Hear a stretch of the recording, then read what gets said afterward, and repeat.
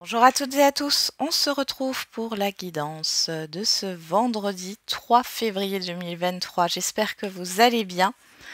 On va regarder tout de suite quel signe nous accompagne pour cette journée. Je vous remercie hein, pour tous vos commentaires, vos retours, vos likes, vos abonnements. On y va avec quel signe pour ce vendredi 3 février. Donc n'oubliez pas, alors quand je fais cette vidéo, alors c'est pour le vendredi, mais cette vidéo je la fais jeudi. Donc ceux qui regardent cette vidéo ce jeudi soir, hein, euh, sachez que je suis en live ce jeudi soir à 20h45, donc jeudi 2 février. Hein. Allez, qu'est-ce qu'on a comme... Euh, on a le taureau comme signe. Trouver sa stabilité, sa sécurité, se connecter au plaisir des sens. Et derrière, on a l'énergie du sagittaire. Ouvrir son esprit, voyager, partager, donner du sens alors ici, on est, alors ça bouge hein, avec l'énergie du Sagittaire et sur le Taureau, on est plus sur quelque chose lié à la terre, au matériel, au concret. Euh, on parle euh, de sens dans les deux signes, hein. donner du sens et euh, se connecter au plaisir des sens. Donc vous allez avoir peut-être les cinq sens qui vont jouer un rôle aussi dans cette journée. J'ai des personnes qui vont aller au restaurant, là, bon, ça sort, euh, ou qui vont se faire plaisir gustativement, là. Euh, pour d'autres, euh, il y a aussi le fait, pourquoi pas, de penser à un voyage ou un déménagement. Hein. Il y a une histoire de déplacement. Alors, je rappelle encore une fois, on est bien sur l'énergie du signe. Hein. Si vous n'êtes pas taureau, cette guidance peut vous parler aussi. Allez, avec l'oracle au quotidien, on a cette situation reflète votre réalité. Ce que vous voyez, ce que vous croyez, pardon, vivre est le reflet de vos pensées, de vos perceptions et de vos croyances. Il s'agit de votre réalité. Vous êtes convaincu d'avoir raison et vous voulez le faire savoir aux autres. Or, chaque personne a une façon différente de voir les choses qui est, son propre, point de vue. Pardon. Échangez avec calme vos opinions avec autrui, vous trouverez un terrain d'entente. Vous pouvez contourner cet obstacle. Bon, alors là, il y a une difficulté qui est peut-être là depuis un certain temps. Euh, et de votre point de vue, c'est peut-être quelque, chose d'immense. C'est une difficulté qui est euh, presque insurmontable, euh, mais autour de vous, hein, euh, les personnes, euh, chaque personne a un point de vue différent par rapport aux situations, et au lieu de peut-être rester focus sur cette grosse difficulté, essayez de voir ce que les personnes autour de vous peuvent vous apporter comme solution ou vous enrichir finalement, dans le sens où chacun a un autre regard, chacun a un autre point de vue, une autre manière de penser. Ça peut peut-être vous aider.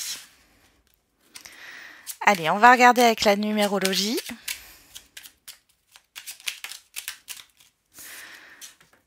Je prends une décision. On a le chiffre 1. Je me positionne pour ne pas remettre au lendemain. C'est aujourd'hui que j'agis. Je me décide. J'évite que les événements ne décident à ma place. Oui, soyez acteur et non spectateur de votre vie.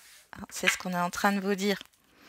Et le chiffre 7, j'ai foi en moi et en mon projet. Je prends conscience de mes talents en faisant un travail d'introspection ou en prenant conseil auprès d'une personne compétente pour m'y aider. Vous êtes capable de surmonter une difficulté ici. Hein. Euh, il y a une histoire de dépassement de soi. Euh, mais vous avez tout le potentiel pour réussir. On va regarder avec les feeling cartes. Ouh, il y en a trop. Allez. Pour ce vendredi. Et on a fier. Et derrière, facétieux. Bon, Soyez fiers de vous. Alors vous allez certainement être fiers de vous. Il est possible que vous, que vous trouviez une solution, que vous arriviez à gérer euh, un imprévu, une difficulté ou autre. Ok. On va regarder avec le Béline.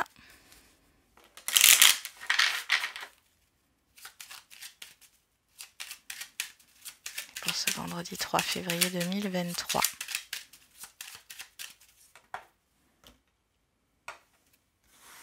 Les plaisirs et on a la ruine. Ah, il y a une certaine démotivation ici.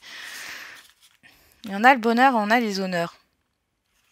Alors pour retrouver un épanouissement ici, il va falloir terminer quelque chose, lâcher peut-être un repère ou un mode de fonctionnement ici. Hein.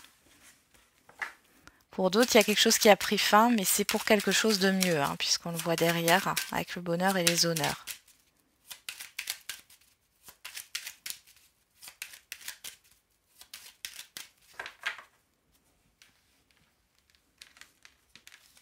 Allez, au niveau matériel et financier. Professionnel, les projets. Le relationnel général et la vie émotionnelle. Alors, derrière, on a le hasard. Hop, je vais juste remettre un peu les cartes en place. Voilà le hasard, le cloître, la clé, la ruine et les plaisirs. Il y a un déblocage ici, il y a une solution qui est trouvée par rapport à une difficulté, vous voyez.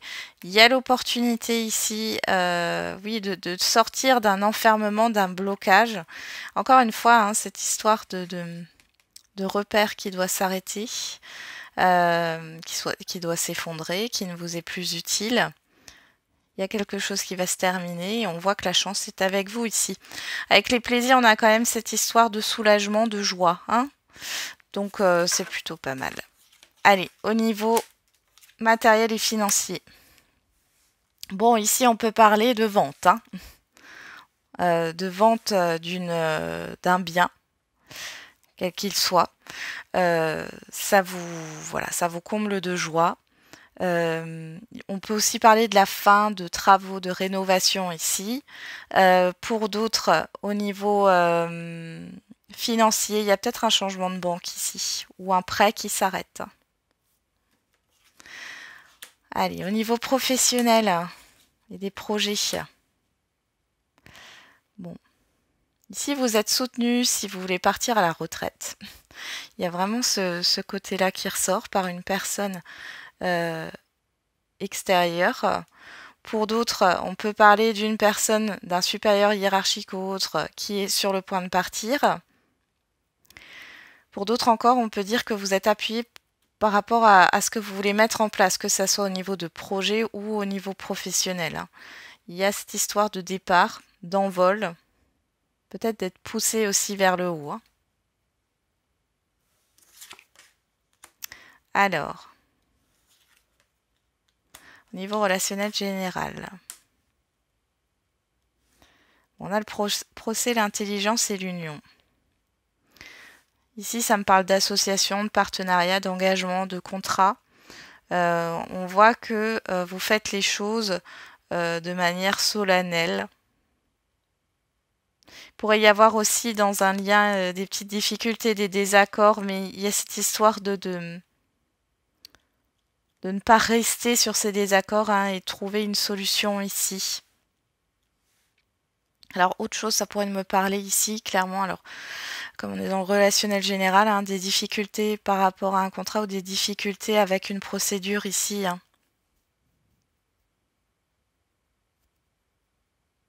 Bon.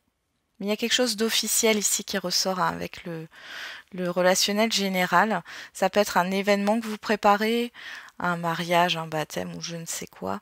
Euh, d'autres, hein, ça peut être euh, aussi, on parlait de départ à la retraite, hein, c'est peut-être ça aussi, hein, c'est le fait d'officialiser un événement. Alors, dans la vie émotionnelle, on a les entreprises, la renommée et l'étoile de la femme. Alors, il y a peut-être une personne ici qui reconnaît vos compétences. Euh, pour d'autres, vous êtes, vous êtes pardon, euh, satisfait, satisfaite, heureux, heureuse, fier, fier par rapport à une reconnaissance, par rapport au travail que vous avez fait aussi sur vous-même et sur vos émotions. Hein, parce que l'étoile de la femme, ça peut représenter une personne extérieure, homme ou femme, ou euh, tout ce qui a attrait à l'intuition, aux émotions. Hein. Il y a quelque chose là qui vous satisfait personnellement. Alors, en carte centrale, on a les présents. L'argent, et eh ben dis donc, la découverte et l'héritage. Donc là, vous pourriez avoir une somme, alors peut-être d'un héritage, alors vous n'êtes peut-être pas au courant, mais vous allez recevoir une somme, on peut parler de donation, mais on peut aussi parler euh, d'une vente ici, hein, au niveau matériel, hein. on l'a vu au niveau financier, il y a peut-être cette histoire de, de, encore une fois, de prêt ou de dette là qui s'achève, donc c'est plutôt pas mal. Et si on ne parle pas au niveau matériel et financier, il y a une abondance qui arrive. Hein. Avec la découverte et l'héritage, euh, il y a cette histoire d'arrêter euh, de, vivre dans un passé. Là, vous allez pouvoir voir plus grand. Il y a une opportunité qui se présente à vous. Allez.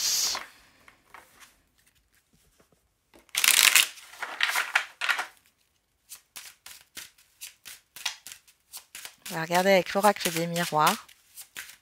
Alors pour le professionnel, j'ai pas, enfin le, message vient là, mais pour le professionnel, c'est aussi le fait qu'une euh, rupture conventionnelle est acceptée.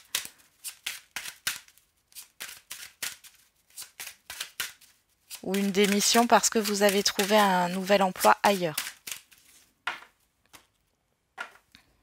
Alors ici, on a le miroir magnétique à la coupe, on a la réunion. Donc il y a un rendez-vous important pour certains et certaines d'entre vous, pour d'autres, vous voyez du monde ici. Hein. On a la jalousie et l'amitié. Faites attention à qui vous vous confiez ici. Hein. Dans ces personnes, dans votre environnement, il y a des personnes qui ne sont pas forcément bien intentionnées. Vous avez aussi euh, un soutien. Vous voyez, je, ressors la jalousie là. Ouais, on a une personne extérieure hein qui est prudence pour certains et certaines d'entre vous. Encore une fois, c'est une guidance générale, mais si ça sort, hein, il y a une personne, homme ou femme ici, euh, qui qui est en relation avec vous, mais pas pour les bonnes raisons. Hein. Méfiez-vous. Mais on, pourrait aussi vous dire par rapport à la coupe, je vous disais, vous avez le soutien, vous avez du soutien ici euh, par rapport à une situation qui, euh, et peut-être néfaste ou toxique.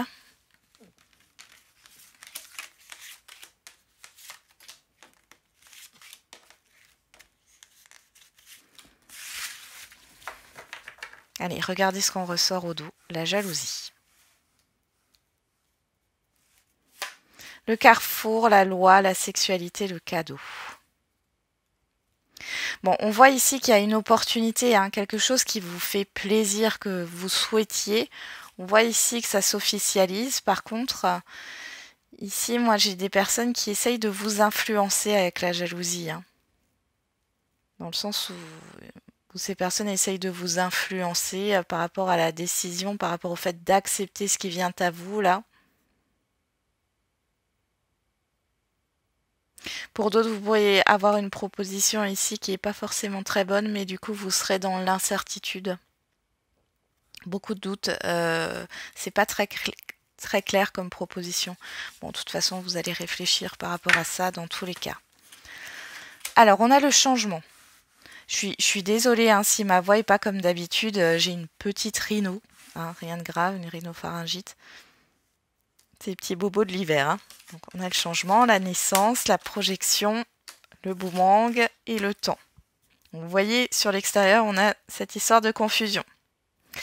De ne pas bien. Il euh, y a quelque chose qui n'est pas clair. Vous, vous êtes sur le démarrage de quelque chose de nouveau, un nouveau cycle aussi. On voit qu'il y a un retour ici, un changement qui arrive dans le temps pour vous. Donc, il y a Soit c'est une nouvelle relation, soit c'est un nouveau projet, un nouvel emploi, mais c'est un changement qui va durer dans le temps. Euh, on voit que vous doutez peut-être par rapport à certaines personnes, encore une fois, hein, et vous avez raison. On peut aussi voir ici qu'il y, a un changement par rapport à, votre manière de vous projeter. Vous n'arriviez peut-être pas à vous projeter dans votre vie, c'était trop confus, euh, les choses étaient un peu... Euh, en mode brouillard. Hein. Ici, vous allez avoir quelque chose de positif qui va revenir, peut-être que vous attendiez depuis un certain temps, et ça va créer un changement. Ici, il y a quelque chose de beau qui arrive. On a le verdict, on a la chance, ben dis donc, l'ouverture, la famille et l'instabilité. Bon, Ici, vous allez vous débarrasser avec l'ouverture la famille l'instabilité. Encore une fois, euh, ça me rappelle la carte de la ruine qu'on avait tout à l'heure. Euh, le fait de oui, de, changer quelque chose dans votre quotidien, par exemple, une habitude, ou euh, peut-être faire du tri dans vos relations, sortir d'une situation instable ici, vous allez vers quelque chose de constructif. Hein. Il y a vraiment une belle opportunité qui se présente à vous. Allez, on va regarder au niveau sentimental et affectif.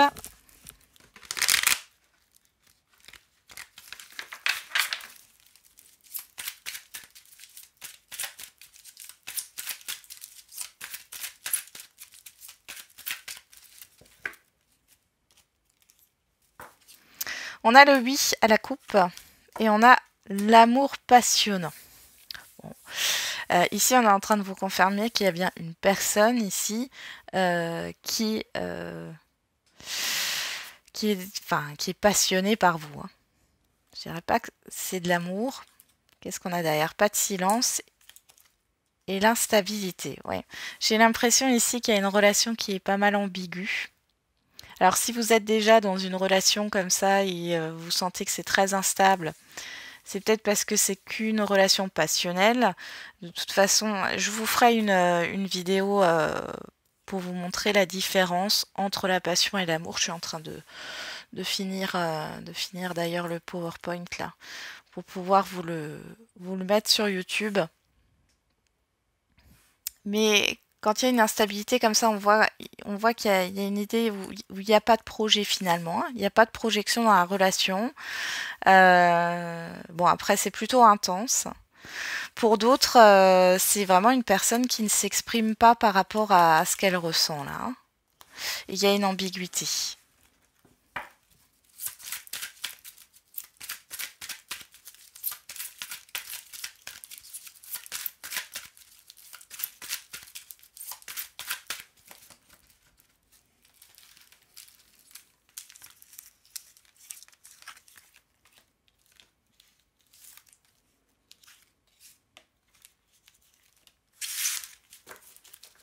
Alors, derrière, on a le secret, l'épreuve, la chance, la naissance et le choix. Encore cette histoire de choix, ici on avait je prends une décision. Il y a pas mal de non-dits ici dans un relationnel. Euh, et vous voyez ici, il y a cette histoire de projet avec la cigogne, de chance. Euh, il y a un blocage dans un relationnel ici au niveau de la projection. Beaucoup de non-dits, beaucoup d'hésitation. Ça peut venir de vous, de la personne en face de vous. Euh, pour celles et ceux qui sont en couple depuis un certain temps ici, on voit qu'il y a une difficulté à réaliser un projet. Euh, mais il y a cette histoire de, ne rien dire. Il n'y a pas une communication franche euh, avec votre partenaire, il ou elle. Pour les célibataires, ici, vous avez du mal à vous projeter. Hein. Euh, vous avez du mal à vous projeter à deux. Alors peut-être qu'il y a encore une personne qui est dans votre tête, c'est possible. On va regarder qu'est-ce qu'on a. Sur le changement, on a l'été. On parle aussi de cancer lion vierge si ça vous parle, sinon vous le laissez de côté. Hein. Sur la naissance, on a le bonheur, l'harmonie. Sur la projection, on a l'instabilité. Sur le boomerang, on a l'hiver, la fin de cycle. On nous parle de Capricorne verso poisson. Et sur le temps, on a la famille, la stabilité. Je vais juste remettre une carte euh, côté de la personne en face de vous. Eh ben dis donc.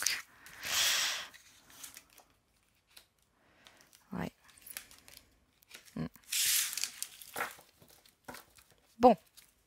Alors, les célibataires. Soit vous avez fait une euh, rencontre récente ou sur l'été dernier, on voit ici euh, que vous, vous avez envie de démarrer quelque chose de sain, hein, d'harmonieux, vous avez envie d'être heureux, heureuse. On voit que la personne que vous aviez rencontrée était dans une instabilité, certainement due à son passé ici, hein, puisqu'on nous parle de l'automne, du détachement. Et on voit ici qu'il y a plutôt quelque chose de léger et pas quelque chose qui dure dans le temps. Alors cette personne peut revenir sur cet hiver, je préfère le dire. On voit, si c'est dans ce cas-là, on voit ici euh, qu'il y a un changement qui peut s'opérer sur l'été, pourquoi pas. Donc revenir sur l'hiver avec une concrétisation et un engagement stable sur cet été. Pour d'autres célibataires, euh, il y a cette histoire de, de revoir, euh, de revoir, de, rencontrer des personnes, mais ça ne donne rien. Euh, c'est des personnes qui n'ont pas réglé leur passé, qui ne savent pas ce qu'elles veulent. du coup, c'est quelque chose d'éphémère et vous, vous avez envie de quelque chose de durable. On voit ici que, bon, jusqu'à apparemment jusqu'à cet été, ça a l'air d'être compliqué. Il y a un changement positif. Alors bien sûr, c'est une guide en général, ça ne parlera pas à tout le monde. Ça se trouve demain, je vais vous parler d'une nouvelle rencontre et euh, ça sera la rencontre du siècle. Hein, mais vous êtes tellement nombreux hein, que voilà, faut prendre ce qui vous parle et laisser le reste de côté. Ici, euh, donc je vous disais, vous allez vous vous rencontrez beaucoup de, personnes instables finalement qui ne savent pas ce qu'elles veulent. Vous voulez être dans quelque chose de constructif, vous voulez être heureux, heureuse. Euh, on voit ici qu'il y a un changement qui arrivera pour vous sur cet été. On vous dit patience parce qu'il y, a une relation sur le long terme qui va se mettre en place. Mais il y a encore une histoire de patience. Pour les couples et les liens, alors ici, il y a cette histoire de redémarrer quelque chose ou de de renouveau. Vous avez envie de démarrer un nouveau projet commun. Euh, ou alors ça fait partie aussi de votre vie personnelle, hein. ça peut être euh, une nouvelle activité professionnelle ou autre, et on voit que votre partenaire, il ou elle, est plutôt distant, euh, détaché, prend les choses à la légère. Donc on voit que le retour est pas forcément ne correspond pas vraiment à vos attentes. C'est plutôt il y a une sorte de détachement, de froid euh, bon, après ici, ça fait peut-être un temps que c'est déjà comme ça. Là, on voit qu'il y a un changement dans, la relation. On voit qu'il y a un renouveau qui arrive, une stabilité sur le temps quelque chose qui va se concrétiser sur le temps. Ou alors ici, vous êtes hein, dans cette instabilité avec une personne euh, au niveau d'un couple, d'un relationnel, et on voit que les choses vont bouger, mais qu'à partir de cet été, qu'il y aura une concrétisation euh, sur cet été. Derrière, on a la séparation, le nom, la sagesse, le bon raisonnement, la lune et message reçu. Alors là, pour, pour certains et certaines euh, qui sont dans une relation euh, depuis un moment où euh, on vous dit qu'il n'y a pas, vous pensez peut-être que la relation va s'arrêter, là on vous dit non. On vous dit non, c'est une illusion, ça fait partie de vos angoisses peut-être. Il y a une communication à venir et vous allez, euh, voilà, je, pense que la personne en face de vous va vous prouver qu'elle vous aime réellement. Hein. Il y a une histoire de temps, mais on voit aussi de sentiments qui durent dans le temps. Donc c'est plutôt pas mal. Et on a un visuel, des retrouvailles, un renouveau. Hein. Pour les célibataires, c'est... Euh, alors peut-être que vous vous dites... Euh, bah, que vous trouverez jamais la personne euh, qui vous correspond, on vous dit non. on vous dit non dans le sens qu'il faut pas arrêter de chercher ou voilà. Et qu'il y a bien une rencontre, mais on vous dit patience, encore une fois, hein, cette histoire de patience. Alors, on va regarder pour les questions-réponses au niveau sentimental. On a Relation discrète, secrète, on vous parle du mois de juillet, et personne divorcée l'automne. Bon, alors ici on voit une certaine confusion avec cette lune. Alors, soit vous êtes en relation avec une personne qui est en train de se séparer, euh, ou qui est divorcée, on voit qu'il y a quelque chose de, de confus. Euh, les célibataires, on parle de relations euh, non officielles. Bon, ça ne veut pas dire que la personne est engagée. Hein. Ça, veut tout simplement dire que la personne n'a peut-être pas envie d'officialiser une relation ou de, se mettre en couple. Hein.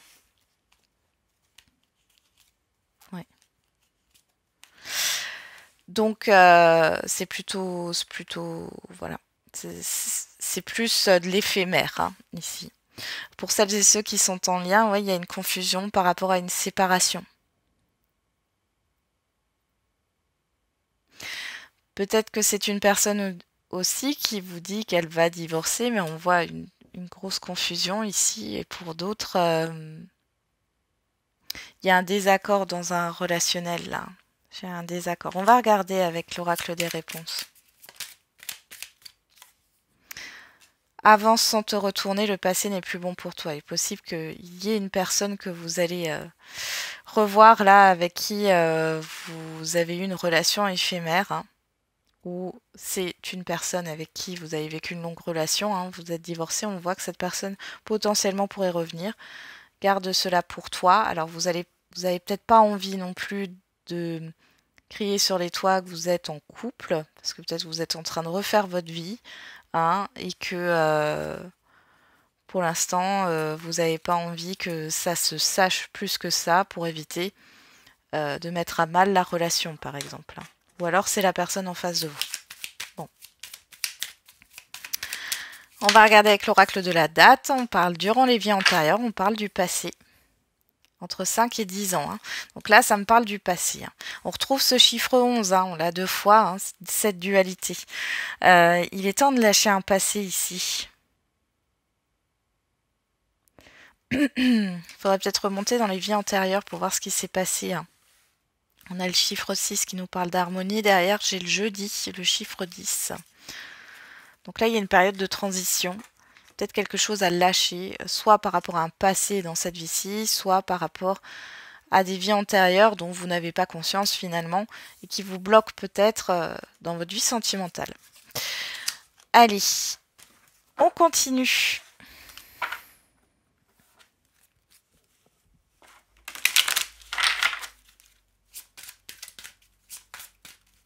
avec les questions-réponses au niveau général, la situation va s'améliorer et agissez.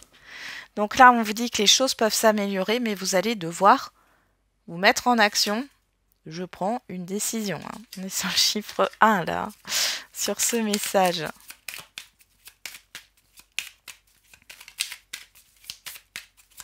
Il y a un avancement ici.